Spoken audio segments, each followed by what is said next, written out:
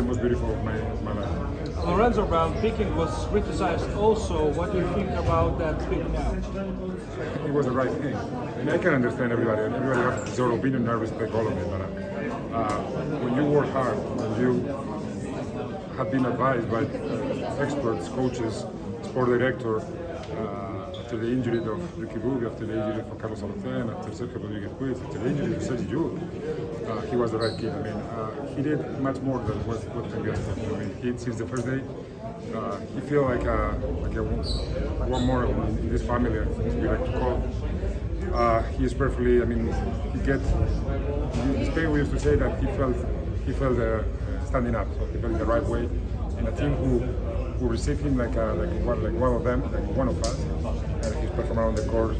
He shows how committed he is with, uh, with our basketball. It was his, his dream, his goal to play for Spain, and for us it's a huge honor. And I said it before the tournament. What can I say now? Even, even more. Will we see Lorenzo Brown next year?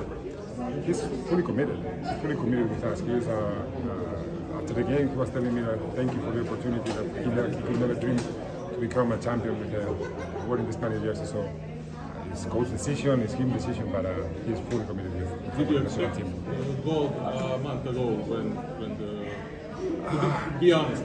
Being totally honest, uh, I told to the players uh, that was not on the plan.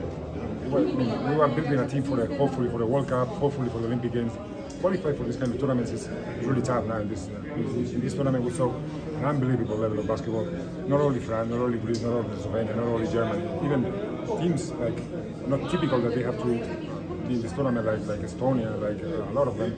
Uh, we, dream, we always dream, but uh, honestly, we, as I said, was not in the plan to win this tournament.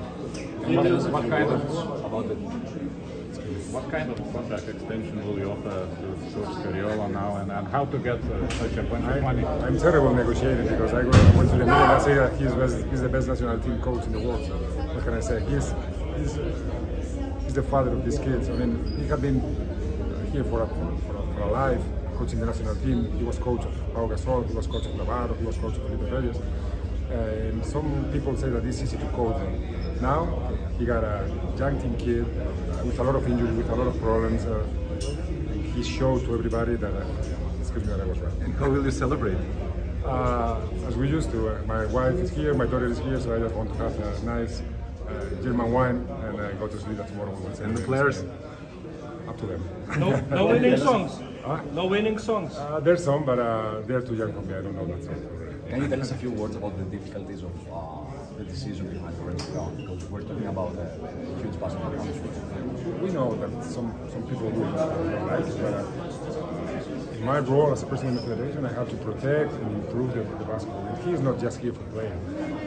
I would love, I would love that you watch him in the first days of the training camp, teaching and talking to Juan Nunez, which is 18 years old, very 18. So he's doing much more, much more than what, you've seen before. I mean, he's, as I said he's repeat it. He's fully committed with the Spanish basketball, and um, actually, but it was the right decision. It wasn't just a pass, it was an investment. Because the committed, what is committed? Committed is to be to play one year in Spain, or committed is to uh, lose your nationality, to play with other countries, cry like a kid, uh, play with injury, play with pain in his shoulder for the whole tournament. I cannot say more than uh, thank you. Jorge, you said uh, the growth wasn't in the plans.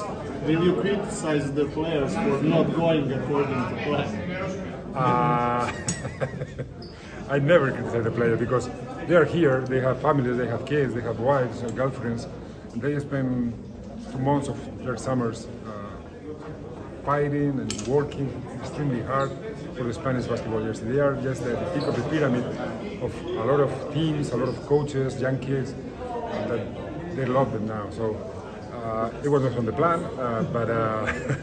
But this is a beautiful story. I will forgive them. Yeah. And, and Scariolo told after quarterfinals that if Europe will let Spain, this Spain team win a medal, then you will be on the podium forever, maybe. Uh, so uh, when will Europe be able to, to rest from you? no, being honest, uh, win this tournament make a lot of sense. I mean, we feel even more proud when you have to compete with, against uh, Denis Ferreira, when you have to compete uh, against Wagner, against Sabonis, against Markkanen. So yeah, incredible player. So that gives even more value to this to this gold medal because um, the tournament was amazing. Was probably the best Eurobasket in the, in the last years, in the last 20, 25 years. Uh, and uh, as I said, I won on the court, I won on the court, but this this uh, is really special for, for everybody because it means a lot for, for this team and means a lot for Spanish basketball.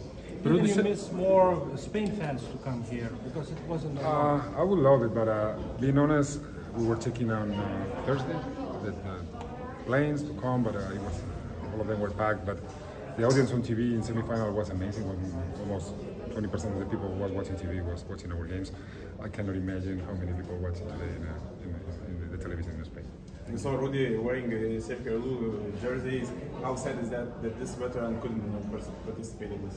Llull is uh, for sure he's an unbelievable player, but he's a great guy. He's, he's, he's the soul of this team, and uh, when he get injured, and not big injuries, but enough to uh, don't allow him to play.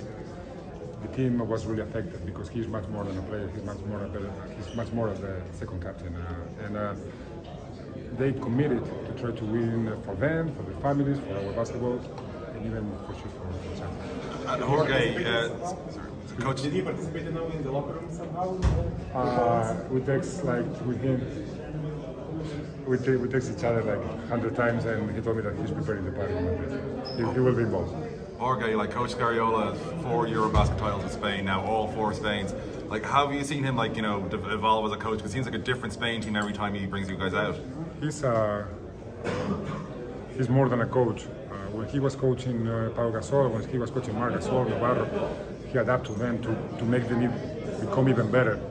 And that was probably one of the, not the best, not the biggest, one of the bi- bigger challenges in his career. And uh, without noise, without making any kind of uh, looking for protagonism, at the end, we show that he is the perfect, the perfect uh, coach for, for our basketball, for our national team. Thank you.